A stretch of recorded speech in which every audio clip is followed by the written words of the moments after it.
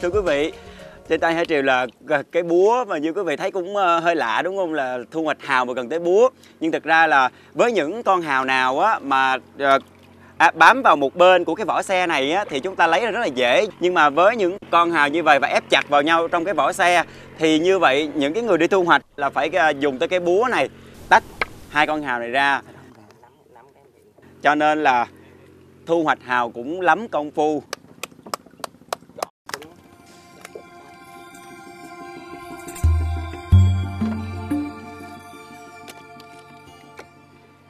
Ây da. Thưa quý vị, như vậy là sau một hồi hì hục à, thu hoạch hào với sự giúp đỡ của những người dân địa phương ở đây thì Hải Triều đã có được một số lượng hào kha khá rồi. Bây giờ thì Hải Triều mời tất cả quý vị cùng theo chân chúng tôi. Chúng ta sẽ cùng chế biến những món đặc sản của xứ Long Sơn này. Thưa quý vị và các bạn, để à, chế biến được những món đặc sản từ hào thì chúng ta khâu đầu tiên đó là phải à, tách được những cái vỏ hào này ra.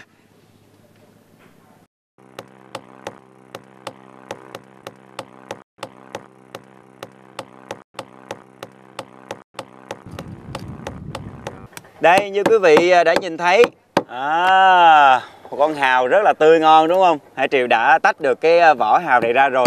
Lát nữa chúng ta sẽ cùng nhau chế biến những cái món đặc sản từ con hào này quý vị nha.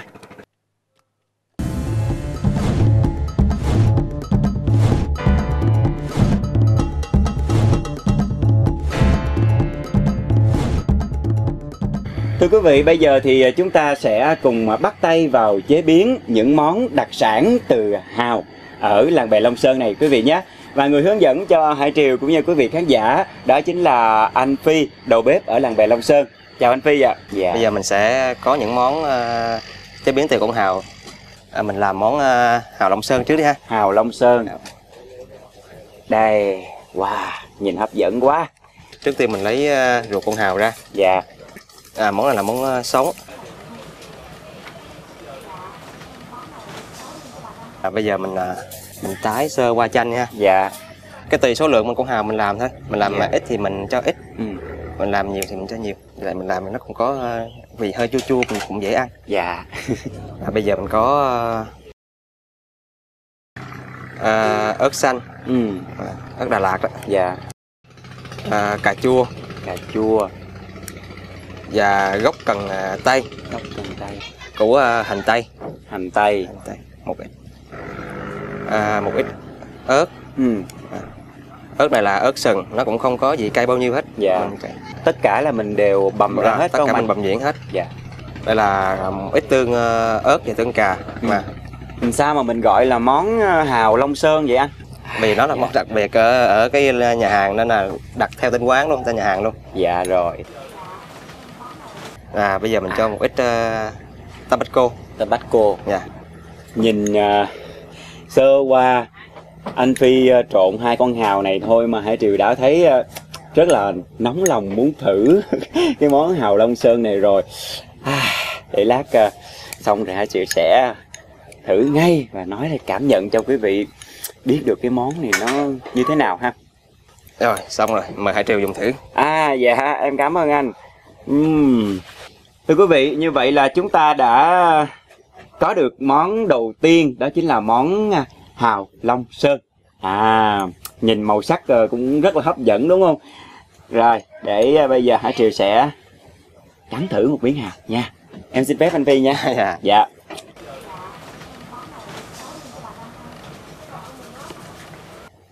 Bản thân Hải Triều á là một người ăn cay không có giỏi cho nên là hồi nãy thấy anh Phi ờ, nêm ờ, ớt xanh, rồi ớt đỏ, rồi thêm tương ớt, rồi thêm tabasco vô nữa. Cảm thấy rất là lo lắng là khi mà ăn cái món này thì sẽ bị cay và bị sặc.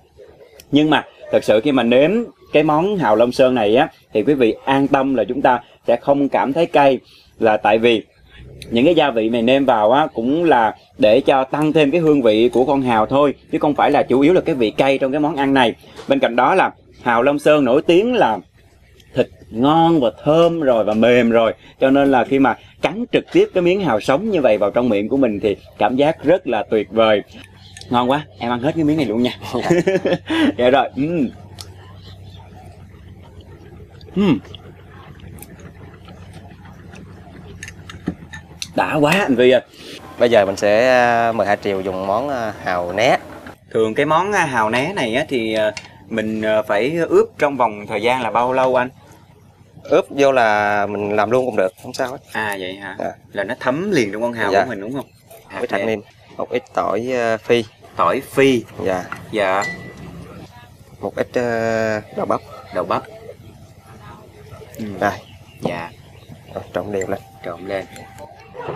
Đây là mình có à, một ít bơ và dầu ăn.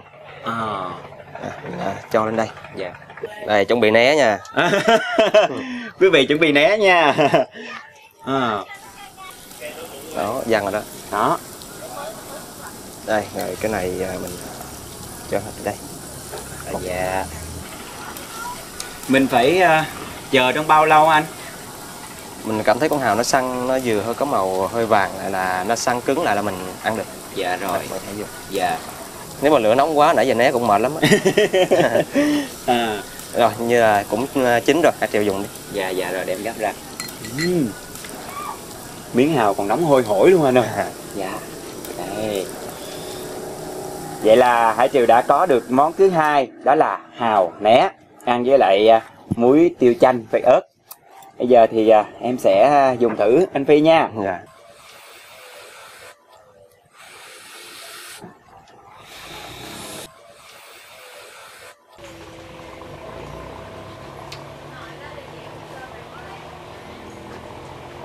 khi mà quý vị ăn trực tiếp cái miếng um, hào né như vậy á, mình sẽ cảm nhận được cái hương vị trong cái miếng hào này sẽ ngon như thế nào. Có thêm một chút um, đậu bắp nè rồi có thêm một chút là hành tây. À, những cái hương vị này hòa quyện vào nhau kèm với gia vị mình nêm trước đó nữa. Rồi có thêm uh, muối tiêu chanh ớt. Trời ơi đã ơi là đã luôn quý vị ơi. Um, um. anh phi biết không? Ăn hào á ở trên đất liền á đã ngon rồi. Dạ. Mà ngồi trên cái không gian này nè bốn bề sông nước là cứ bồng bềnh bồng bềnh như vậy á nói chung là số dắt luôn không có gì qua được hết trơn hết trọi. Rồi bây giờ ờ, xong cái món hào né rồi anh anh sẽ hướng dẫn cho em tiếp tục món gì đây? Bây giờ mình có sẵn có cái bếp đây mình làm tiếp tục cái món à, là hào nướng phô mai ha. Cái này mình không cần phải phải ờ, tách hào ra hả anh? À dạ không. Trực tiếp lên lên Trực vỏ tiếp vậy luôn hả? Dạ đúng rồi. Chờ một tí cho cái à, nó nóng lên nó sôi lên chút. À. Trước một ít à, bơ và tỏi phi. Wow. Bắt đầu là khói bốc lên rồi. Đây em dít chắc. Cái này lấy đũa gấp cho nhanh dạ hả? À, tiếp theo là mình dán à, phô mai lên. Phải có phô mai mới gọi là hào nướng phô mai chứ. Dạ. À, nóng chín rồi là cái phô mai này nó chảy nó bám vào con hào cũng hơi lâu á. Dạ. Anh phi ơi ờ, những cái món mà anh hướng dẫn em làm nãy giờ á là hào long sơn nè rồi hào né với lại cái hào nướng phô mai này nè. Mình thay thế bằng những cái loại khác được không? Ví dụ như ốc ví dụ như chim chép này nọ vậy đó. Như cái món này á thì những cái loại ốc lớn á, mình cũng có thể làm được. Nhưng mà nói chung nó còn không có phù hợp thôi. Dạ. Không phù hợp bằng con hào. Dạ. À, mình làm con hào nó hợp hơn. Dạ. Còn đặc biệt cái món hào long sơn thì không không có món nào thay thế được. Dạ. À, rồi. vì nó đặc biệt rồi nó đặc biệt ở đây rồi một ngày vậy anh đứng bếp ờ, mấy tiếng? Khoảng thời gian là từ 8 giờ sáng cho tới uh, 8 giờ tối. Còn khách đông thì bao nhiêu thì mình đứng bấy nhiêu thôi. Nhà thì bây giờ nói bao nhiêu cũng không được.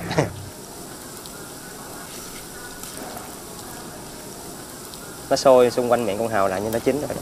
Rồi đây. Đây là một miếng nha hào nướng phô mai đã thành phẩm em ăn nha. Dạ. Rồi cho thêm một miếng muối tiêu chanh ớt. Rồi thế là nó hơi nóng để em thổi ra.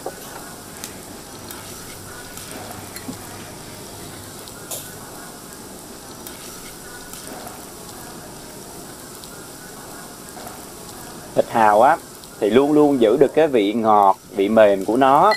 Rồi kèm theo đó là có phô mai có bơ quý vị đừng có tưởng là có phô mai có bơ thì nó sẽ béo ngậy rồi mình sẽ ngán nhưng mà không với cái lượng vừa đủ một miếng ờ, bơ một miếng phô mai như vậy thì tạo cho cái vị của con hào của chúng ta càng thơm hơn thôi Thưa quý vị, hơn trăm năm trước, ông Trần cùng với gia quyến của mình đã khai phá và tạo lập nên một ốc đảo có nét văn hóa rạc chất miền Tây Nam Bộ, ngay giữa một xã đảo thuộc khu vực miền Đông Nam Bộ.